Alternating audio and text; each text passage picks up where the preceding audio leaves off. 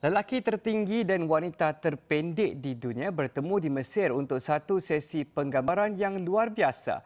Perbezaan ketinggian mereka begitu menakjubkan kerana wanita itu kelihatan seperti saiz kaki lelaki tersebut. Berdasarkan rekod dunia Guinness GWR, Sultan Kosen yang berusia 35 tahun berasal dari Turki adalah lelaki tertinggi dengan ketinggian lebih kurang 244 cm. Sementara itu, wanita dan Jyoti MJ 24 tahun pula berasal dari India dan hanya berketinggian 60 cm.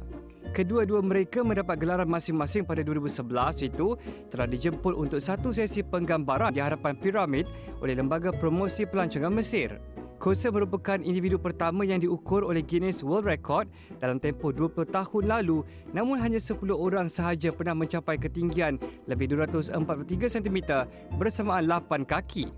Ketinggian kosen itu adalah disebabkan kondisi yang dipanggil gigantism pituitary iaitu berpunca dari penghasilan hormon pertumbuhan berlebihan. Amjad pula berdepan kondisi dwarfism yang dipanggil achondroplasia dan tidak akan meninggi. Oleh itu, kesemua pakaian perlu direka khas termasuk perkakasan makan.